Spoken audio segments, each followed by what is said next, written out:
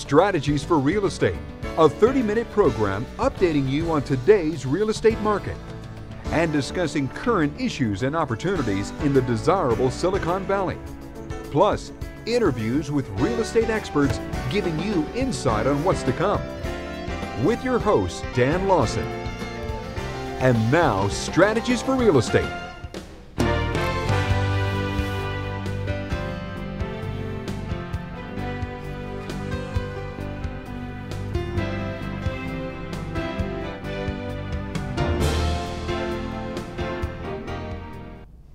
Hello and welcome to our, our real estate climate segment. It's now my pleasure to introduce Kelly Hunt, a familiar face to Strategies for Real Estate. It's nice to be back again. It's nice to have you. It's Thank always you. always a pleasure. So, um, so it's a seller's market, yeah? Still, Still. yeah, pretty much. so, why why don't we talk about inventories? What what is the story with inventories? well, you know, as you know, the last couple of years, the inventory has been historically low, and that's only continued uh, to this year. In fact, I was looking at my notes from a segment that we had done back in early 2012, and it's pretty much the same conditions now as it was then, only even less inventory. And I think the demand is even greater now because we have a lot of people moving back into the area with the jobs. So it's it's not our job market fun. is very strong. It's very strong. Yeah, well, I mean, we recovered here well before the rest of the nation. So we're uh, seeing a lot of that with the housing market. So, what, what's the overall market impact for sellers? What it's got to be a very friendly one for them. Well, for sellers, yes, um, obviously. So for buyers, it's not so friendly. But um, there were a lot of people, I think, for many years that were underwater. And so because of the appreciation that we've seen over the past two years, um, actually the past three years, a lot of those uh, people who have been sitting and waiting are in a position to actually sell their home because they're not upside down if they want to get out of the area. But um, if they're planning on staying here, uh, I think part of what's happening is people are afraid to put their house on the market, whether it's to get a larger home or to downsize, because they're afraid they're not going to have a place to go because the inventory is so low. So it's, it's creating a little bit of a predicament for the sellers, though, as well, because they want to move to a new place. But if they put their house on the market, it's going to be difficult getting into another place. And, and more and more, I'm seeing people retaining their home while they're mm-hmm. buying another one, and then they put it on the market. Exactly, which is a little bit of a risky venture, but with the way the market is right now, they're probably you know, more likely to get away with something like that. Yeah, yeah, Yeah. Or, or at least end up in a, in a nice position. Right, and you have to, of course, as you know, you have to be able to qualify, right? Right. So now you've got a seller who's trying to buy another piece of property and still qualify for two mortgage payments to buy that house. Mm, there, there are inherent problems with that strategy. Yes, there are. You know, but again, it's it's it's. So, what do you say to your your sellers or the potential sellers when you're meeting with them, and whether it's a single person, couple, what have you? They're they're thinking, well, if we do put our house on a market, our neighbor just sold in in a within a week. Right. So, what, what are some of the strategies you you put in play to help people maybe feel a bit more comfortable? Maybe extended escrows or some of these other things. Yeah, so typically what I try to do is to prepare them for the next leg because that's really what they have to look at is how long is it going to take to get into the next property. Um, so I have, for example, have a young couple, they're selling their condo and so we were able to get them into contract, but what we did is we negotiated a little bit longer close and a 45 day rent back. But it's always good for sellers to have a backup plan. If they have family in the area, if they've already got most of their stuff in storage because they've prepared their home to sell it, Right. um, just to have a good backup plan just in case. But getting a rent back is ideally what you want to do, but it's good to have a backup plan just in case.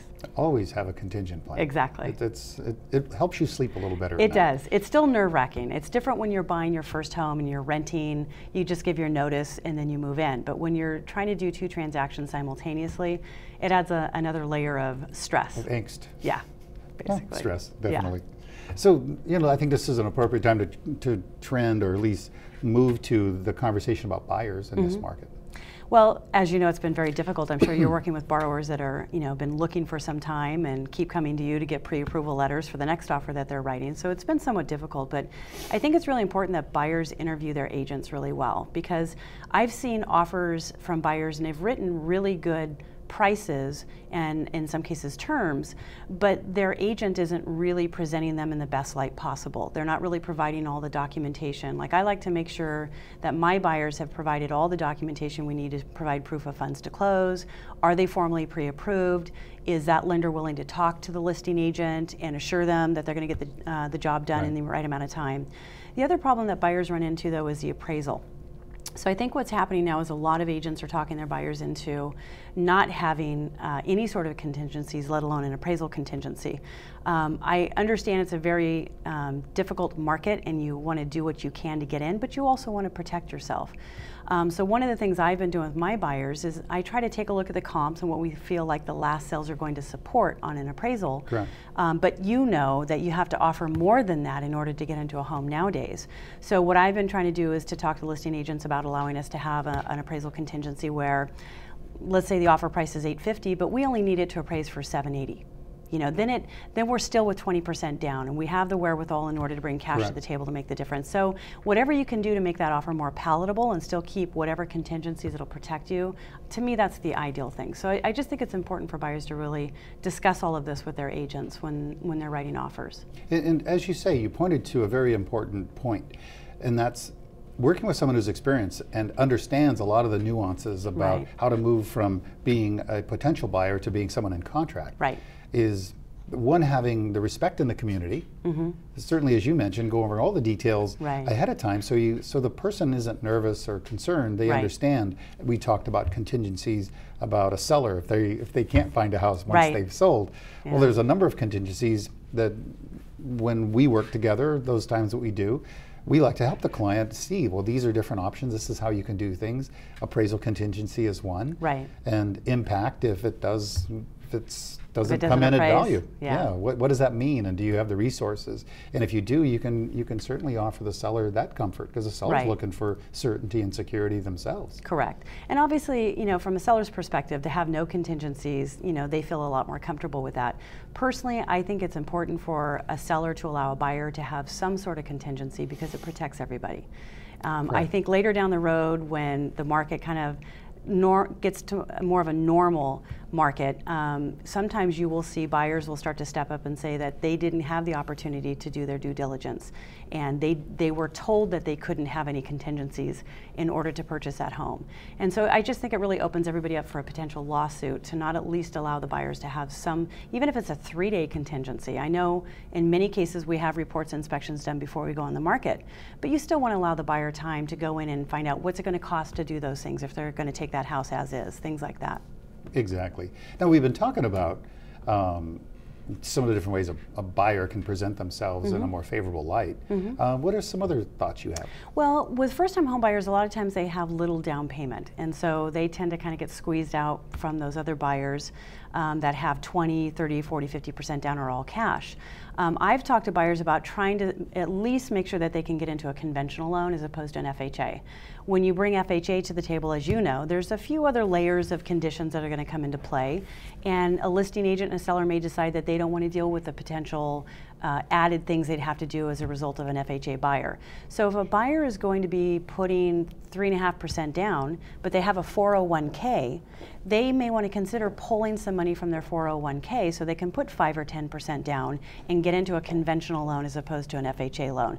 You're still borrowing the, The majority of the same amount of money, but you're borrowing it from yourself, but your down payment is larger in the eyes of a seller. So I think that's something that kind of at least puts them in a better position when it comes to financing. It, it, it is another strategy and another mm. another option. Right. And we talk about contingent plans.